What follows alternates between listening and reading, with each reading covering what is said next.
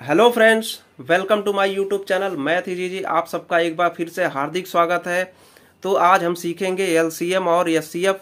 तो सबसे पहले, एलसीएम क्या होता है? लीस्ट कॉमन मल्टीपल, एससीएफ क्या होता है? Highest common factor. इसमें दो टर्म है, एक मल्टीपल और एक फैक्टर। Multiple factor. तो सबसे पहले हम मल्टीपल के बारे में जानेंगे और फैक्टर के बारे में, जैसे ही हमारा मल्टीपल फैक्टर क्लियर होगा, उसके बाद हमें L C M S C F चुटकी में हम सॉल्व कर लेंगे। चुटकी में सीख जाएँगे हम।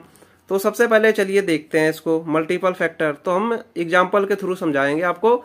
If a number A divides another number B exactly we say that A is a factor of B and B is called a multiple of A यानी कि अगर संख्या ए बी को पूर्ण विभाजित कर दे तो हम कहेंगे कि ये बी संख्या का फैक्टर है।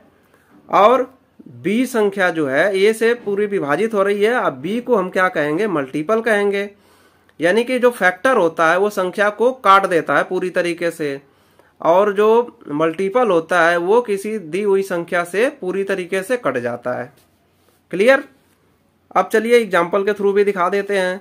तो 12 का फैक्टर यानी 12 का गुणनखंड, यानी कि 12 से छोटा होगा और उसी 12 को पूरी तरीके से विभाजित कर देगा। तो 12 से छोटे कौन सी संख्या होती है? जो 12 को काट दे, एक होगी, दो होगी, तीन होगी, चार होगी, छह होगी, बारह। अब बारह की गुड़ज की बात करेंगे तो 12 में एक, दो, तीन कंटिन्यूसली मल्टीप्लाई करते जाएँगे तो हमें गुड़ज मिल जाता है। यानी कि गुड़ज जो होता है, वो 12 से ज़्यादा होगा। ठीक है? अब आइए एलसीएम सीखते हैं। तो एलसीएम क्या होता है? The least number which is exactly divisible by each of one of the given number is called their LCM यानी अगर हम दो या दो से अधिक संख्याएँ कोई ले रहे हैं तो उनका एलसीएम जब ज्ञात करेंगे तो पहले हम उनका गुड़ज लिख लेंगे। फिर उस गुड़ज में जो सबसे कम वाला गुड़ज होगा, जो दोनों में कॉमन होगा, वही हमारा एलसीएम होता है। चलिए एग्ज़ाम्पल लेकर के सीख जाते हैं। तो एग्ज़ाम्पल हमने ले लिया कि एट एक नंबर एट ले लिया, एक ट्वेल्व ले लिया, उसका एलसीएम फाइंड आउट करना है। तो एट का गुड़ज हो गया eight sixteen twenty four dash dash dash ये आगे तक जाता रहता है, ठीक?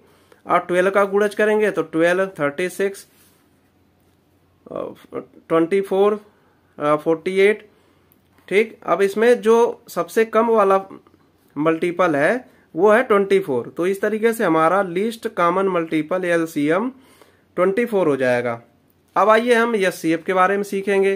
तो एस सी एफ़ क्या होता है? S C F of two or more than two numbers is the greatest number that divides each them exactly यानी कि हाईएस्ट कॉमन फैक्टर जो होता है ना, दो या दो से अधिक संख्याओं का जब हम ज्ञात करेंगे तो उसमें जो हाईएस्ट पहले तो हम सब दोनों संख्याओं का फैक्टर ले लेंगे। उस फैक्टर में जो सबसे ज़्यादा वाला फैक्टर होगा, जो दोनों में कॉमन होगा, वही हमारा जो है, यह सी एफ़ होता है। अगर हमने, चलो, एक क्वेश्चन भी ले लिया एट और ट्वेल्व का एस फाइंड आउट करना है तो एट का पहले फैक्टर हमने ले लिया। एट का फैक्टर क्या हो जाएगा? एट का फैक्टर एट से कम होगा तो वन टू फोर एट होगा।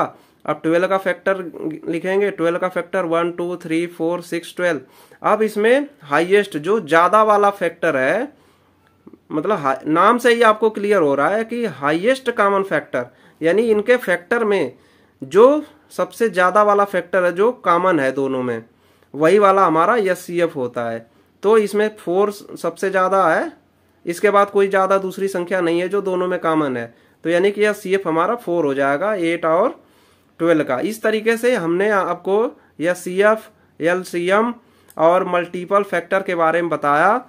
और अगर आपको इससे और आगे भी सीखना है कि L C M of fraction number या C F of fraction number और मेथड्स कैसे फाइंड आउट करते हैं एलसीएम और एस सी एफ़ तो इस सब के बारे में जानने के लिए आपको सबसे पहले हमारे चैनल को सब्सक्राइब कर लीजिए, ताकि मैं जब अगली क्लास में आपको बताऊँगा तो आप अच्छी तरीके से वो चीज़ें सीख पाएँगे।